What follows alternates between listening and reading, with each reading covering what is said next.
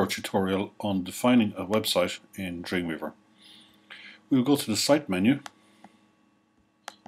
New Site, and we'll give it a site name. So I'm just going to call this Site 1.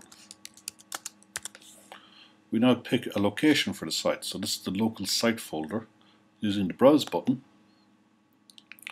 I'm going to go to a folder I have for DKIT, for this academic year, for websites, and I'm going to create a new folder and I'm going to call it Site1. No spaces are included in the folder name as this could cause some problems later on, so it's good practice to get into.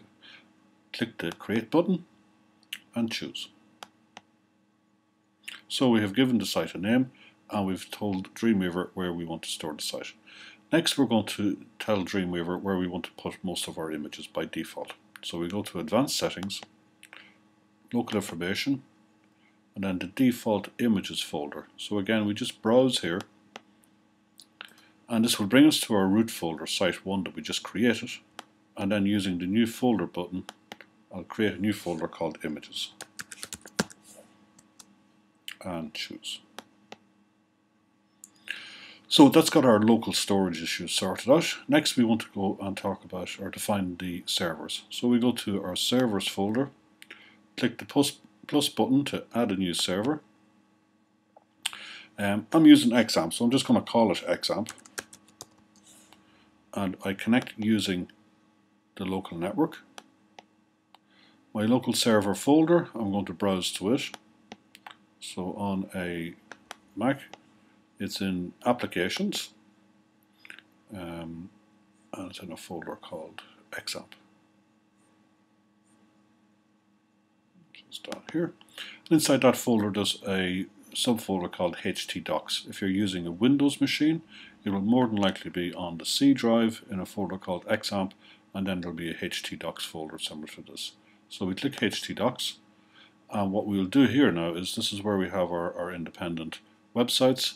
Um, I'm going to create a new folder here, and I'm going to call this one Site1.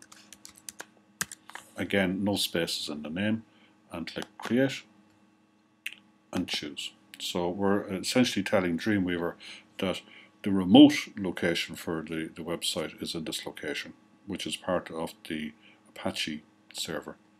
We'll then give the Dreamweaver its URL, so it's going to be localhost because it's on our machine here, forward slash and the name of the folder that we just gave it, so site1. If you've used uppercase, it's a good idea to keep it exactly the same. We'll now just go to the Advanced tab and here we're going to set up the testing server model and it's going to be um, it's going to be PHP MySQL.